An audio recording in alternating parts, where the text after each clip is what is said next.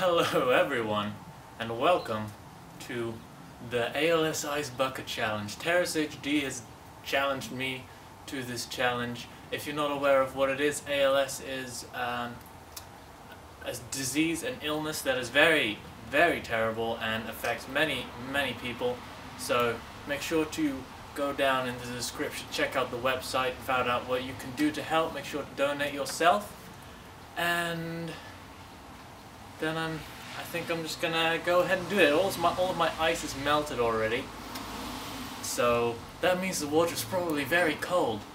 Uh, so okay, great. I'm gonna check if my camera's still recording and then we'll get this rolling. Alright, camera's still good. Grab this bucket.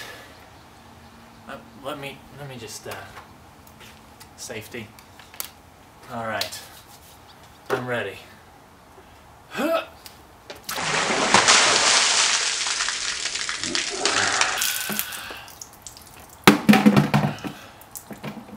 It's fine. I'm fine. It's not it's not too bad. I mean it's fine. It's not that cold. I'm used to it. I dare blame the controller. No way it's Trevor. Holdfast 33 and hmm who else? Starrlett 20.